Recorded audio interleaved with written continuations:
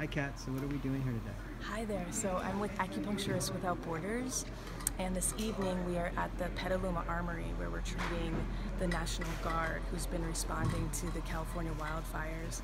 These are the women and men who have been going through the rubble uh, from the fires and saving lives.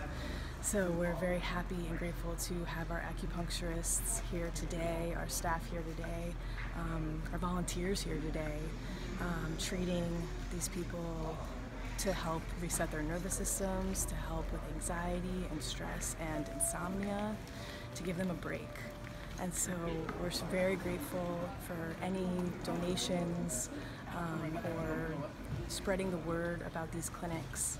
Um, we're trying to get as many clinics up in Sonoma and Napa this week. This is our sixth clinic um, since Saturday, and um, we're going strong. We have about 100 volunteers who are ready to to get to these different clinics. We're doing auricular acupuncture, five points in each ear, the NADA protocol. Um, so it's pretty streamlined to administer this treatment. And as you can see, people are really enjoying themselves and relaxing.